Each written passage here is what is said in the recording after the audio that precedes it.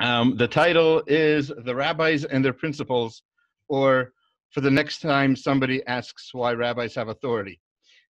I think the first title is a little bit shorter uh, and uh, easier to, uh, a little less confrontational, as, as, my wife just pointed out. so uh, I think um, t- to begin with, uh, we know uh, from Pirkei Avot, as Rabbi Yitzhakov mentioned, and uh, and Rabbi Kropkin mentioned, uh, when when when the Torah was given at Har Sinai, it was given uh, not just the written part, but there are obviously some parts that had to be transmitted orally. Hashem taught Moshe certain things, and then throughout the rest of the Torah, Moshe teaches the Bnei Yisrael, the children of Israel, he teaches those uh, details of those laws, and not just laws, but also concepts and, uh, and and many other types of things. The fact that we have any kind of halacha or anything like that at all today is not just because of the Torah that was given um, in the written form, but because of the that same tradition that Moshe taught Yeshua, and Yeshua taught the elders, and the elders taught the uh, taught the, the prophets, et cetera, et cetera, all the way down to whoever our great teachers are today. A common thing that happens uh, very often in, in discussions with people who want to know more about Judaism is they say, "Oh, I believe in God." But the rabbis, uh, they're just men. They're just people just like you and me. I make mistakes. They make mistakes. Who's to say that they have any kind of authority besides uh, any kind of authority that I have? So I think part of the answer to that question that might help people understand this is to know who these rabbis were. But there were a lot of rabbis, so I'm, I'm not going to be able to in the in this uh, in the 30 minute class, even the 40 minute class, I wouldn't be able to give you the entire history of all the rabbis in the last 2,000 years or more, as you will see in a moment. But if we focus in on just one rabbi, just one rabbi, I think we'll get an idea. And this is, by the way, the, the, the faintest idea, a tickle of an idea of what kind of people we're talking about when we talk about the rabbis who passed over on the tradition. And the rabbi I'd like to speak to you about today is none other than Shimon ben Shetach. And you're probably asking, Shimon ben who? And, uh, and yeah, he's not a very well-known rabbi. He, you might have heard of him from a Mishnah in Pirkei Avot that we're going to quote later on today, uh, God willing, in just a few moments but uh, uh, he's not on every page of the Talmud or anything like that. Uh, I, I, do want to share a few stories with him that might get, eh, sort of enlighten you into what kind of a person he is, what kind of a character he had, and even what kind of a character his son had. And he's not even one of the rabbis. So, uh, so, so let's begin. First of all, Shimon ben Shetach was a Tana. A Tana means a rabbi quoted in the Mishnah. So the Mishnah was written in around the year 250 of the Common Era. So about, uh, okay, let's say about 17, 1800 years ago. So until that point, the Mishnah was completely orally transmitted from one person to, to another, completely memorized word for word, and a person could not become, could not get smicha, could not be a rabbi until they could prove that they knew everything basically by heart. They were not even allowed to keep notebooks. Notebooks were uh, were considered a, a, a cheating device, uh, a Cliff Notes, or what are they called nowadays? Uh, Spark Notes or whatever. Right? Do they still use those? I don't know. Anyway, so uh, so the, the first story I'd like to tell you about Rav Shimon ben Shetach, I'm going to call the donkey and the necklace, uh, because it's a story told in the in the Yerushalmi Talmud. Okay, like I told you, he's not a very well-known rabbi. There aren't many stories, but one of the stories is in the in the Yerushalmi in Bava Metzia 2.5, if you want to look this up. So it describes how Shimon ben Shetach was very poor. He was so poor that he worked in the linen business. How poor was he? So he he, he worked in shmatas. He worked in the linen business, and he made a very very uh, very difficult, uh, uh, very unsuitable living. Now his students, out of respect to the Rebbe, felt bad that he was so poor, so they decided, they urged him to leave the business and to purchase a donkey. So they purchased, they used, they basically, they made him close his business. They used whatever money was uh, they, they had from whatever, uh, everything must go sale that he had, right? and and they purchased a donkey. They purchased a donkey from a non-Jew, uh, and uh, and it was discovered after they after they bought the donkey that the, the original owner by accident left a pearl on the donkey. I imagine it as a necklace, but it might have probably not been a necklace. So somewhere in the donkey's fur was a beautiful pearl that the that the original owner didn't notice, and he sold the donkey accidentally together with the actual pearl in it. His students were thrilled that they found this extra treasure because now the teacher could be rich. He'll be rich forever and not have to worry about anything and be able to learn Torah and teach Torah without any considerations for uh, his livelihood. They brought the pearl to their teacher, Shimon ben Shetach, and he asked them if the owner of the donkey knew about the treasure that was still there. They said, No. And he said, Do you think I'm a barbarian? I bought the donkey, not a pearl. At which point he promptly returned the jewel to its rightful owner, and the seller of the donkey was so overwhelmed that he cried out, Blessed is the God of Shimon ben Shetach. Just give you an idea uh, of what, what, kind of a principled person he was. Um, he wasn't just a rabbi, uh, he was also one of the Zugot. So historically, and this is a page completely copied out of Wikipedia. The the Zugot were a were five groups of rabbis around the time before the destruction of the uh, of the Second Temple. So this is obviously more than two thousand years ago, right? So uh, if uh, if you if you look at the uh, right there, the third one there circled Simeon ben Shetach. That's Shimon ben Shetach. He uh, together with Yehuda ben Tabbai were both the zugot. In other words, one was the Av Bet Din, one was the, uh, the the main judge, the su- Supreme Court justice, if you will, and the other was the Nasi, or otherwise known as the the, the prince or the president of the, the Jewish Confederation, uh, whatever you want to call it. So one, one was a, more of a political position, one was more of a uh, one was a more of a um, legal position. As one of the Zugot, Shimon ben Shetach uh, is is very important historically. He's, uh, it, as you can see, the, the last group of, of, of Zugot you probably know best. Those are Hillel and Shammai, who uh, who, who, witnessed um, the, the destruction of, of the temple eventually. Um, uh, so approximately this uh, this occurred was around the year uh, again 76 to 69 of the before the Common Era. Shimon ben Shetach is very famous for, uh, as I mentioned earlier, the Mishnah in Pirkei Avot in the first chapter, the ninth Mishnah. It says there, Shimon ben Shetach Omer Heve Marbe lechakor et ha'edim. Be very careful about how you cross-examine witnesses. And be careful in your words. Why? Shema mitocham yumdu. It could be that you might teach them to lie. So again, Shimon ben the son of Shetach would say, increasingly cross-examine the witnesses. Be careful with your words, lest they learn from them how to lie.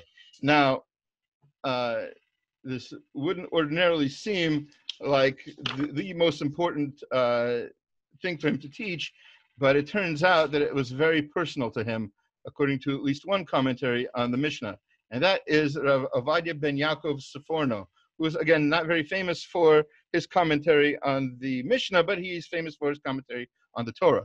In his commentary on the Mishnah, he says, Amar kol ele, the reason that Shimon ben Shetach said all of this is l'shamer mema shekara b'inyan bino, to guard from what happened to his own son. Shenarag b'mitzvot beitin alpi edim. His son was killed through the bet din and not just any bet din, as we'll see from the story, it was actually Shimon ben Shetach himself who was the head of the court. And he killed his own son because of the witness, the testimony of witnesses. She'idu mipnehem sharog et hanefesh. They witnessed about him that he killed somebody. Ve'edim atzmam hachishu et atzmam besof. And the witnesses would eventually contradict each other in the end. Again, so Shimon ben Shetach said, be very careful about how you cross-examine witnesses. Be very careful with your words. You don't want to teach them how to lie. So the Seforno says it was a very personal um, uh, Mishnah for Shimon ben Shetach because his own son was killed because of uh, witnesses who were contradicted. Now, what's the story? How did this happen? Why would his son be killed by Shimon ben Shetach himself because of testimony that was false? The story goes like this, and it's a it's an involved story.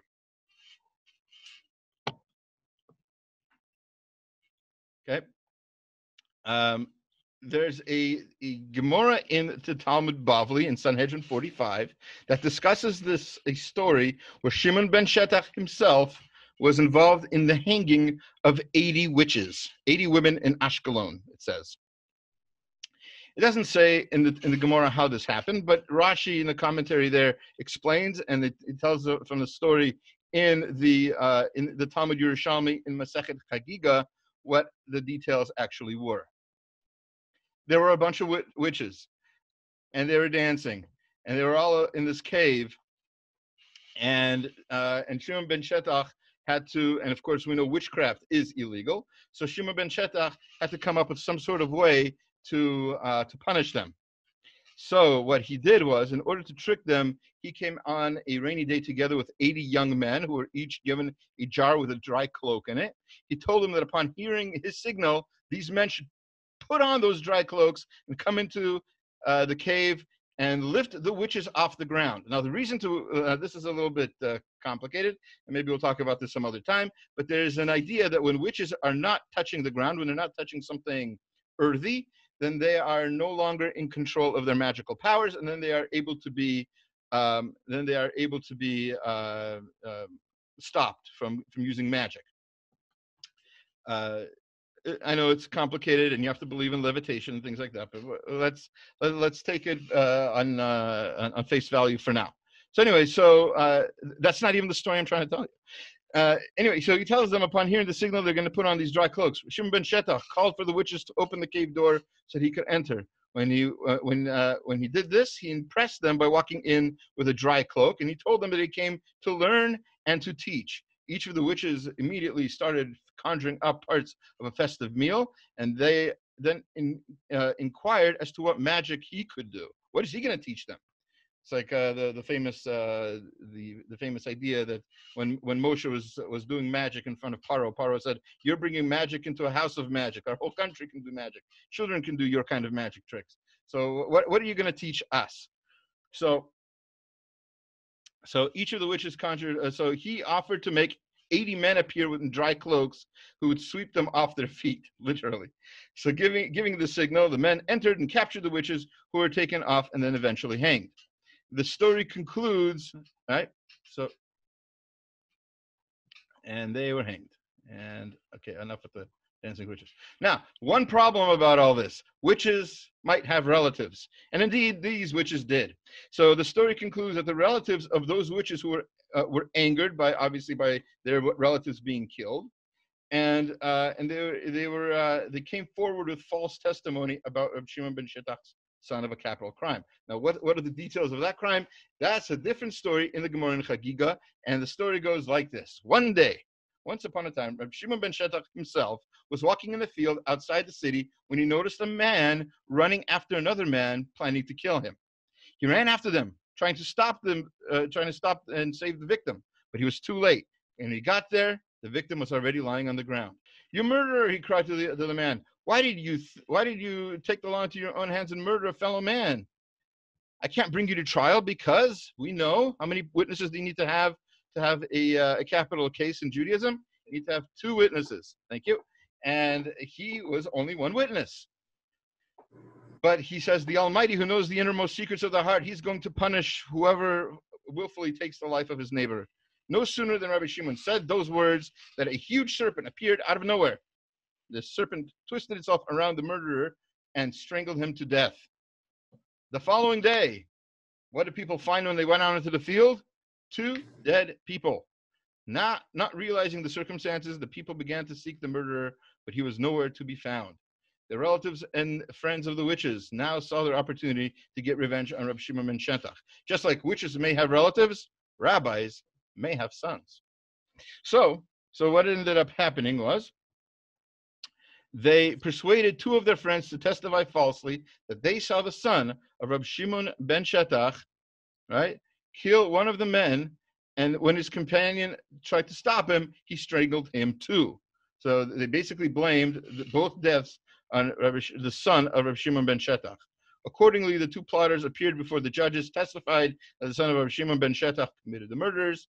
When we called him to stop, in, uh, he, he ran away, and we tried to stop him, we tried to catch him, and he managed to get away from us. The judges, all of the people were shocked. It was unbelievable that the son of the great Nasi of the Sanhedrin was known to be a pious, as pious as his father, should commit such a crime. They issued orders to arrest him. When he appeared in court before the witnesses, they immediately shouted, Yes, this is the man that we saw attack this man in the field and kill the other innocent man.